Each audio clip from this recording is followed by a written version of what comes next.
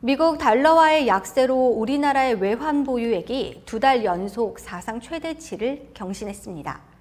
한국은행에 따르면 5월 말 기준 외환 보유액은 4,564억 6천만 달러로 4월 말에 비해 41억 5천만 달러 늘었습니다.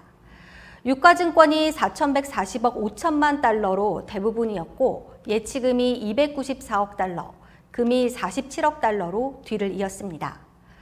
한은은 미 달러화 약세 영향으로 다른 외화 표시 자산의 미 달러화 환산액이 커지고 외화 자산 운용 수익이 늘어난 것이 외환 보유액 증가의 주 요인이라고 설명했습니다.